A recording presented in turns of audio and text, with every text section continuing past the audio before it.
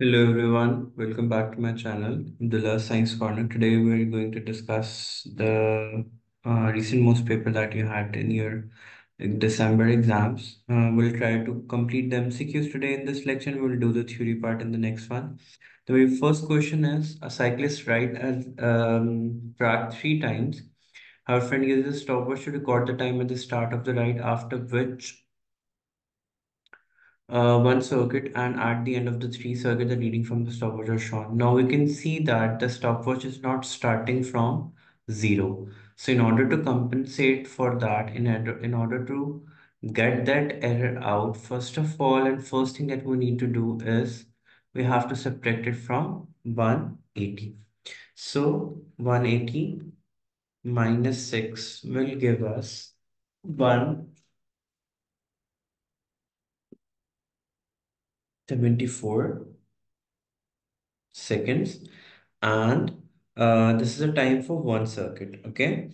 Uh, what is the average time for one circuit of the track? Or we can either do 600 minus 6 which will give us 594 and now the error of the stopwatch has been removed now if we divide this by 3 because it has completed 3 tracks so 594 divided by 3 will give us 198. So option number C is the right one. For the second one, we have a cylindrical coil. A, uh, a cylindrical can is rolled along the ruler shown in the diagram. The can roll over twice. What is the circumference of the can? Now, there are two ways you can uh, complete this question. One, state uh, a way measure this distance or measure the initial distance and the final distance and divide it by 2. I'll explain you the both that in the first part, uh, the initial value is, you could clearly see, let me, here, it's 2, 0, 1 and 2 and add that 15. So 15 minus 2 gives us what value? 13. So first way is this or if the initial value is 2 and the final value is 25, 26, 27, and 28. 28 minus 2 equals to 26 and it rolled over twice as mentioned in the question. So 26 divided by 2 is 13. In either case, you'll get the same answer of the circumference of the circle.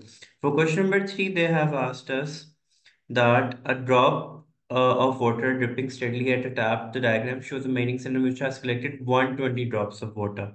Now, uh, we can apply the ratio formula here. Let's first read the question. How many drops in total have been collected when the measuring cylinder reads 10 centimeter cube?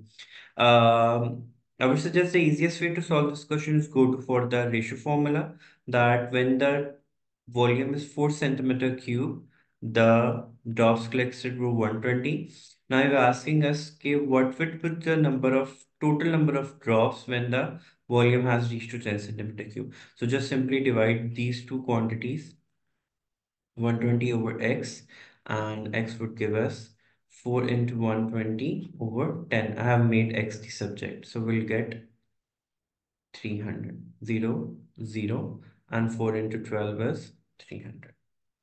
So you can check it at your at your end as well that what is the right answer for that so 10 over 4 equals to oh i made a mistake here i put the ratios wrong because we don't have the number of drops against 10 centimeter cube so here would be x and here would be 120 so 10 times 120 divided by 4. So 4 3s are 12, 10 into 30 is 300. The number of drop would be 300. Moving on to the next part. The graph represents the motion of the traveling along uh, between two stations which statement about the train is correct. So let's review all the options. Its acceleration takes a longer time than its deceleration. We could see that the acceleration part is this and it's steeper than the deceleration. Let me write it down as A and B. So we could see that this is A part is more steeper than B, then this option is incorrect. It travels at a constant speed for less than half of its journey. So clearly we could see that for 100, to the total time is 900, out of which 100 and uh, 500. So in the total 500 out of 100 is acceleration and uh, 400 seconds it's it took to decelerate and for 40 400 seconds it moved with constant speed so this could be the right option. Let's just get back to it. It travels 2000 meters in the first one second. So what is the formula? Area under graph 1 by 2 base into height. What is the value of base here? Quickly try to get the answer on your own. We have 1 by 2 base is uh, 100 and height is 20 so 210. so the total distance covered is 1000 meters. So it's wrong it travels 10,000 centimeter at constant speed. Let's see that. Again we have a triangle a rectangle now this time. So we'll use the formula base into height or length into breadth whatever suits you. So the time is 400 we already discussed here for the constant speed and the height is again 20 so 20 into 2 is 8 so 8000 this is again wrong so the only right option we left left with b it travels at a constant speed for less than half of its journey Going on to the next question. A car travels 6 kilometers along a main road in 6 minutes, then travels 2 kilometers along a minor road in 6 minutes again. Which calculation of the average speed for the whole journey is correct? So what is the formula for average speed? Total distance over total time. We'll just look for that value here. So I see in the very first one here. Here you could see that total distance is 6 plus 2, 8 and total time is 6 plus 2 is 12. So keeping that in mind, so this option is also correct, this option is also correct, but let's focus here. Um, let's focus on the units. It's 8 kilometers per minute. Here they have given us 8 divided by 12, 0 0.67 kilometers and uh, 20. Clearly this does not seem the right thing because 8 over 12 is not uh, going to be 20 kilometers per minute. So the right option would be option number A. For the next part, we have MCQ number six. They have asked us to calculate. We just did this MCQ. They have asked us to always remember students whenever a graph is given, we always apply the formula. So here we could see the shaded region is triangle. So 1 by 2 base into height. Base is 24 and height is 14. So 7 times 24 will, uh, he does not, he has not asked us to find out the value. So 1 by 2, 24 into 7, where is that option? 24 into 14 into 1 by 2, C. So option number uh, C is right for this MCQ. For next one, we have which graph the, uh, represent the motion of an object moving at constant speed. So hurry up. That's a very easy MCQ. What a constant speed is shown? This shows rest This shows deceleration. This shows acceleration. So we're only left with one option, which is option number D. If you guys remember, this could use could be used for constant speed as far as for uniform speed because we do not have any other option when it comes to distance time graph. Moving on to the next MCQ, we have a car takes 15 minutes to travel along a road, 20 kilometer. What is the average speed? Again, the same thing. What is the formula for average speed? It's 20, uh, sorry, total distance over total time. So total distance given in 20. Look for the units here. They are all given in kilometers per hour, which means I have to convert 15 minutes into hour, which we'll do using this formula, 15 over 60. So 15 over 60 could also be written as 60 over 15. So by putting the values in the calculators, we'll get option number C. What is the next question? A stone has a volume. We have volume given. We have mass given. Here the density formula is mass over volume. Uh, look for the units again. They are grams per centimeter cube. So we do not need to change anything. 2 divided by 0 0.50 will give us 4 grams per centimeter cube. Moving on to the next uh, MCQ, we have they have asked us to find the density again. Density is again mass per unit volume. We could clearly say that the mass is given here and the cube has what, what, is, what is the formula of volume for a cube? Because cube has equal sides, so it would be 2 times 2 times 2. So keeping that in view, we'll have volume as 2 times 2 times 2 as uh, 8 centimeter cube. And the mass is given as 7.2 grams. So mass over volume, keeping that in view, the formula will get 0 0.90. Now we have a liquid has a volume of 1000 centimeter cube and a mass of 85 kilograms. The density of water is 1 gram. So how does the density of liquid compares? First, simply we'll just put in the formula 85 divided by 100. So it would be 0.85. So the density of liquid is 0.85, whereas the density of water is 1 grams per centimeter cube. So clearly the density of water is greater than liquid. So just let's just explore where that give option is given. Uh, its density is lower than the water, so it, it's just right in front of us. So that's not difficult MCQ. Moving on, then which object has the greatest density? So again, we'll just put the formula in, and we also know that density is inversely proportional to volume. So we'll keep that in mind. We'll just look for the greatest volume which is given in the question, so so that we don't have to go for the um, calculation, but I don't think so. I think so. We have to go for the calculation. It has asked us for the greatest density. So the greatest density would go for the minimum volume. So just try these two options. So by dividing them, uh, 5.4 divided by 2 is giving me 2.7 and uh, 13 divided by 3 is giving me 4.3. So again, the right option would be B. Why I narrowed, narrowed it down because smallest volume gives the greatest density. So keeping that in mind, I narrowed it down to option number A and B. For next one, on which ball there is a zero resultant force. Resultant force is only zero when the forward and backward force acting on the object is zero. Or whenever there is a motion, the there is equal and opposite forces acting on the object. So let's uh, see Direction of movement is here, so the resultant force is acting in this direction. Uh, object is at rest. This could be considered, but there is no motion in the object, so we couldn't say. Sorry, uh, he has a non-zero resultant force. So uh, constant speed has zero resultant force, zero resultant force, zero resultant force, and uh, we're left with only option number C non-zero resultant force.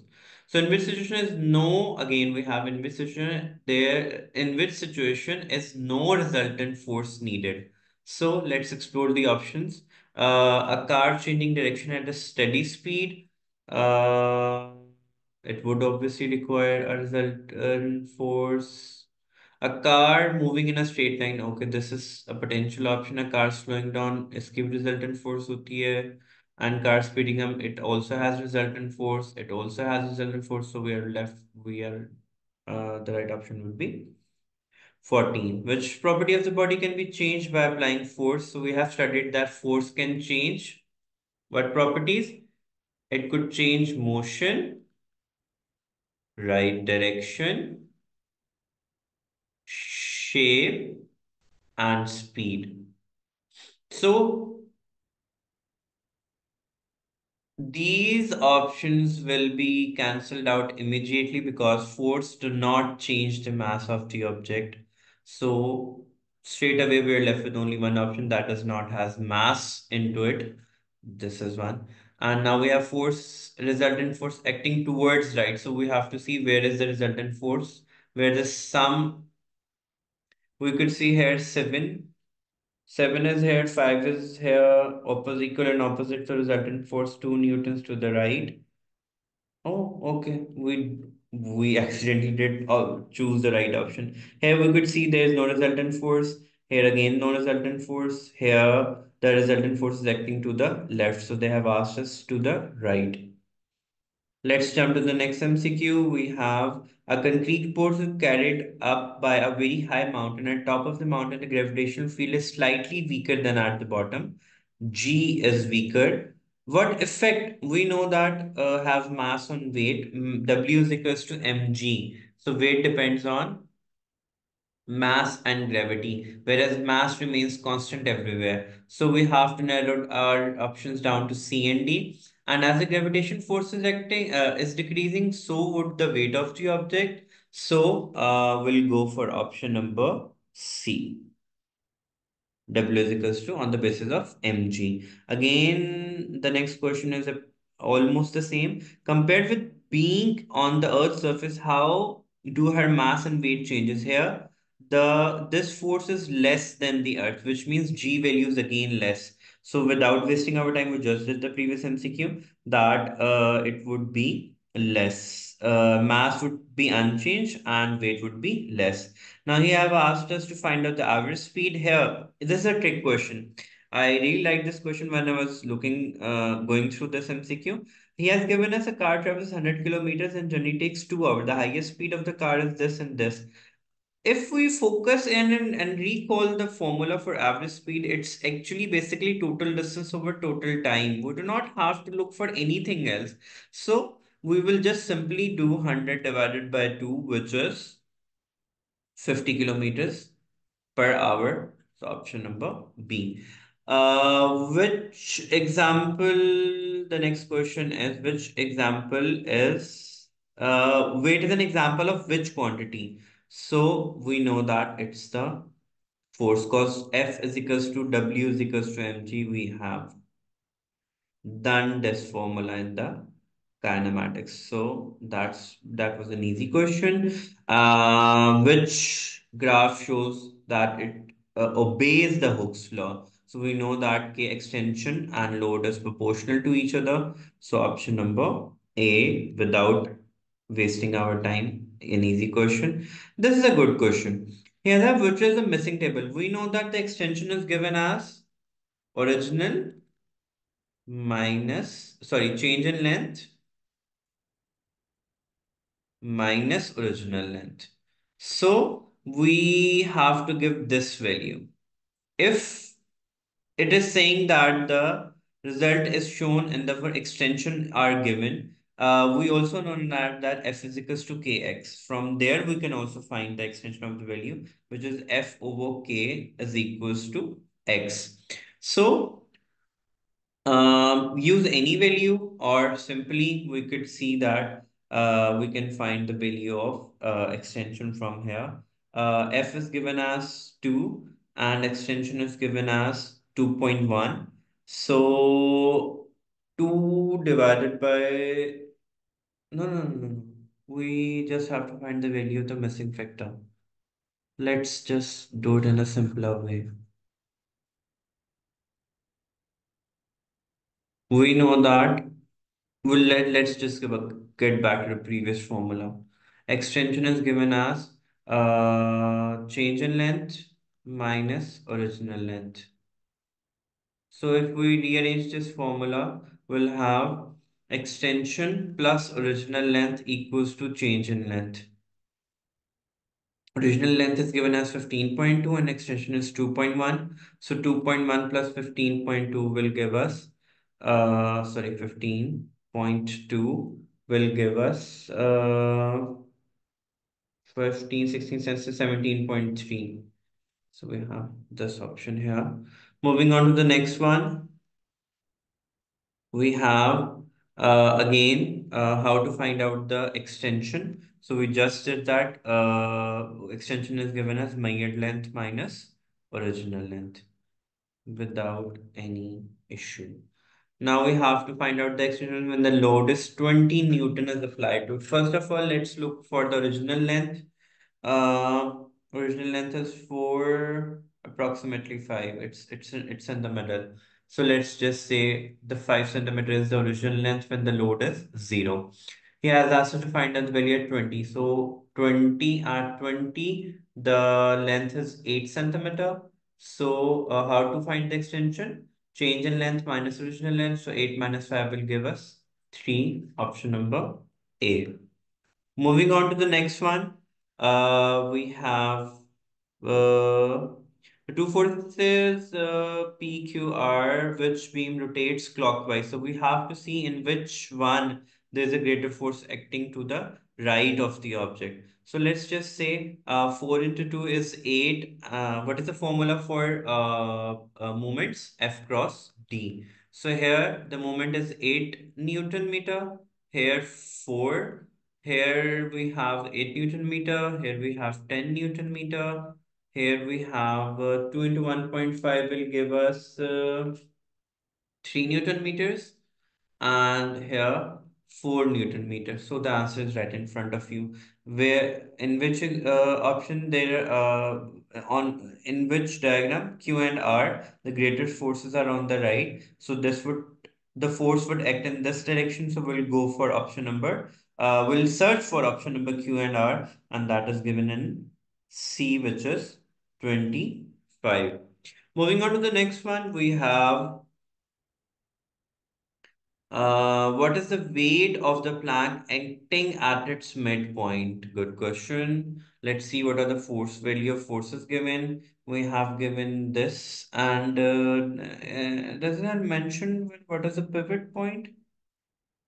A plank XY lies on the ground. A load of 120 Newton is placed on a distance from the end X and Y is lifted up. the upward force is 65 Newton in diagram. Weight of the plank is acting at its midpoints. So let's say X is the uh, pivot point.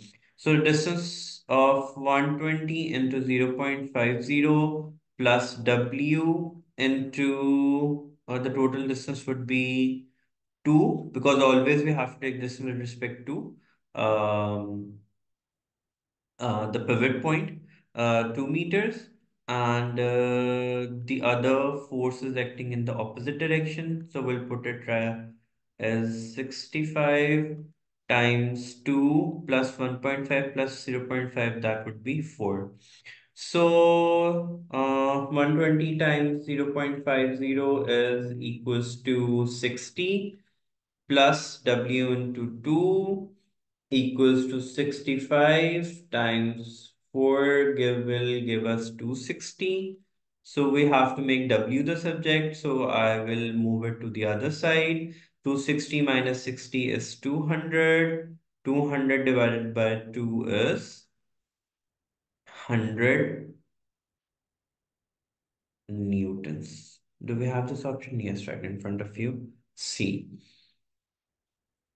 For the next one, energy is in a nuclear reaction, nuclear power station, we always have fission. So we'll narrow it down to this one and takes place in the sun. What is the right option? Yes, fission takes place in nuclear reactors and fusion takes place in that. What's that? Uh, lorry has a mass of 400 kilogram and is traveling to speed. We have we have two things.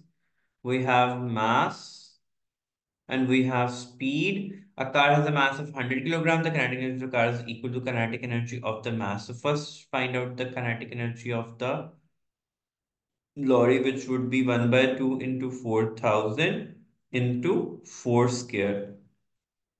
So we'll be have 2000 times 16 because 4 4 so 0 0.5 times 4000 times 4 square will give us 32000 so the kinetic energy is 32000 we have to find out the speed of the car. So the kinetic energy of the car would be equal to 1 by 2 mv square. It, it has already mentioned that the kinetic energy of the lorry and energy of the is equal. So we'll replace this value here. So it would be 32,000 um, times 2 divided by mass, which is 1000 is equals to v square. So we'll take the whole under root. So we have 32,000 times 2 divided by 1000 will give us 8. Do we have that option? Yes, right here. Now we have uh, which expression is against the resistive forces. So we know that as long as the law of conservation is followed, uh, kinetic energy is equals to potential energy.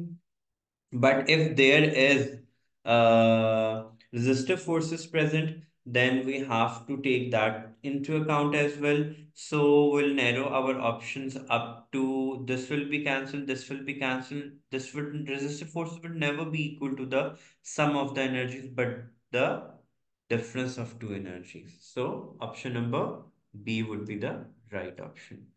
And uh, again, this formula is valid only uh, if there is no resist resistive force. If resistive force is present, then the formula, let's write, write it down also. Work done against friction would be given as Ft, that would be equals to mgh minus 1 by 2 mv square. So you could also memorize this formula if the resistive forces are present. Moving on to the 30th MCQ, we have which energy resource does not derive its energy from sun and that is geothermal energy. Rest of the energies depend on sun.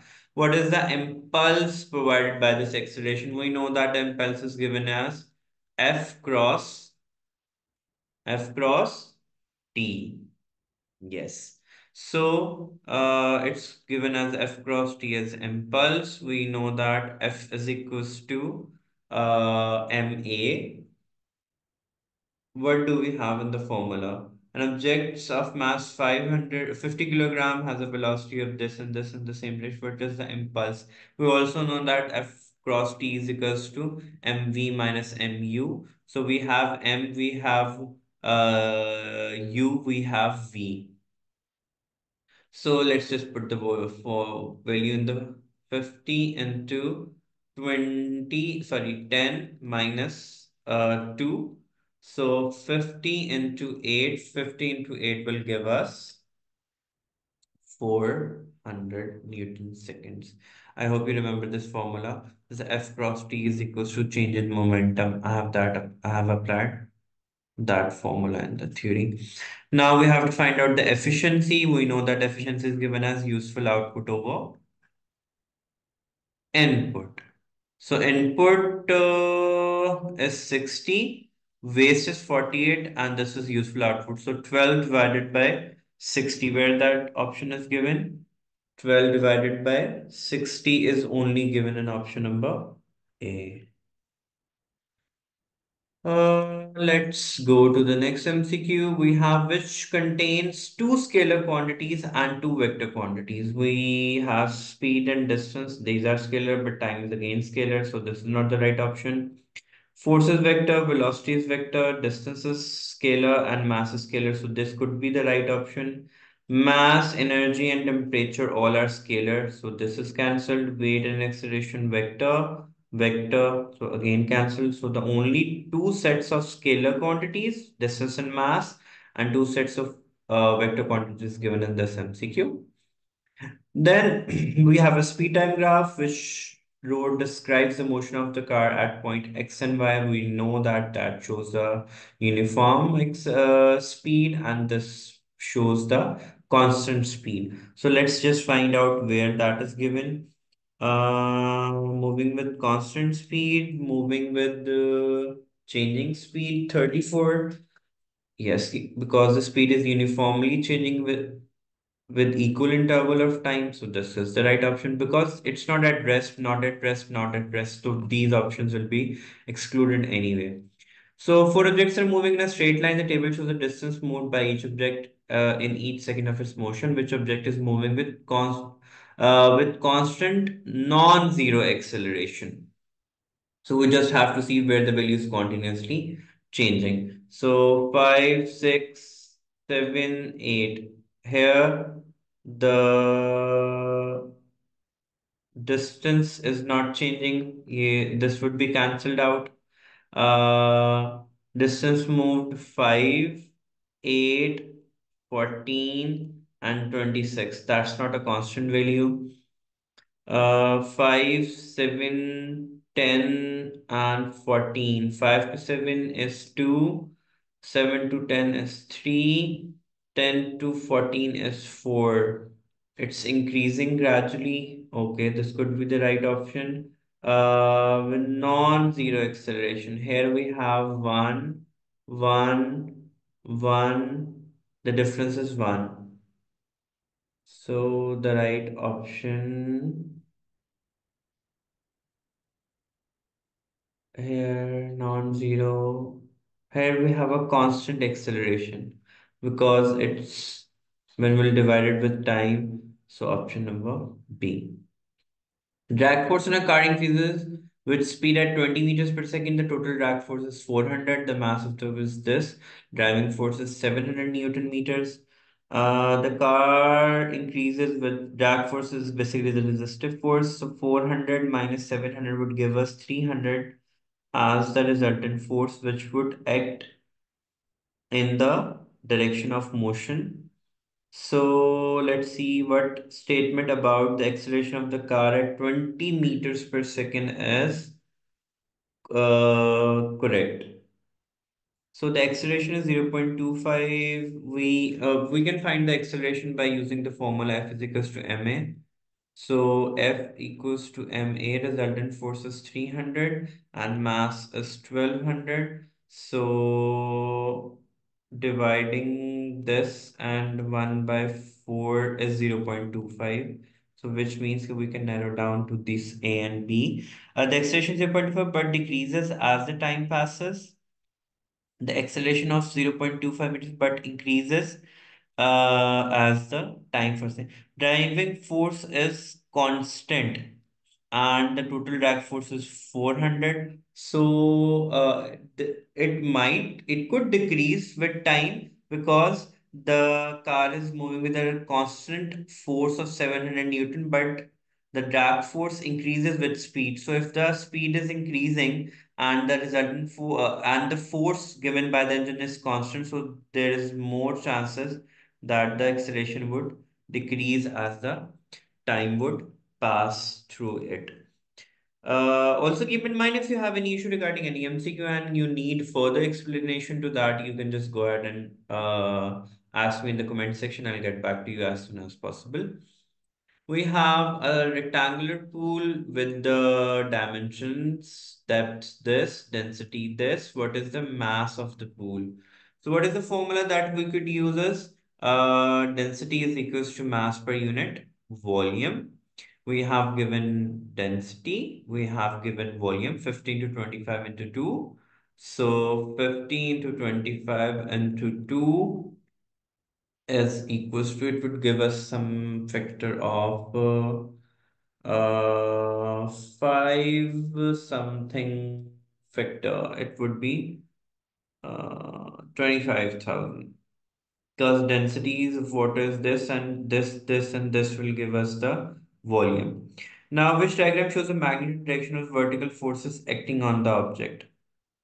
Uh, an object is rising vertically at a constant speed. For, for an object to be moving with a constant speed, the upward and downward forces must be equal to each other. So we'll look for that. Uh, upward force is 3, downward force is 3, upward force is 5, downward is 3. So this will not be the right option. 2 and 4, not right option. 3 and 3, this could be the right option. And uh, so narrowing it down to A and D, uh, an object is rise, rising vertically. So keep weight is always constant and drag force must be acting in the opposite direction of the object object motion. So the right option would be D. Because if the motion is upward now, so the drag force must act in the opposite direction. So we'll go, although A and B both have the zero resultant force, but this this was the trick part where we have to see the drag force would be acting. Drag force is a, a resistive force, it would act in the opposite direction. So moving on to the next one, second last MCQ, we have uh, what is the weight of each boy? Uh, two boy of equal weight. This is the equal weight. Uh, their father has a weight of 1000 Newton side. seesaw's balance is being used that it moves. Uh, during one part of the cycle, the father descends to a distance of 40 centimeter. At the same time, the boy nearest to pivot through 20 centimeters. The boy rises through 80 centimeter. So if the weight of the two boys are same and the, this distance is given as O and the weight is given, so F cross D is equals to F cross D plus F cross D. Uh, the weight of both the boys are same, so we'll take that common, so 1000 into the distance of the father, which is 40 centimeter, and uh, equals to F will be taken common and D1 is 20 plus 80 which is 100 so 1000 times 40 divided by 100 will get 400 so F would be 400 and because we have it further uh, both have equal values. So 400 plus 400 will give us 800 800 Newton moving on to the next one. We have the last one. Yeah. What is the extension of the spring with a weight of 3 newtons attached to it? Okay, we can go for, uh, should we try the ratio formula or go for 3 Newton weight and uh, the length is 599? Okay, it's not a difficult one. We know that uh, in order to find extension, a change in length minus original length, so it's 533 minus 20, so that would be 13. I hope you understand the MCQs. Let me know if there's any issue regarding any uh, anything. I'll soon be sharing the theory part of this paper. So just stay tuned. Bye bye.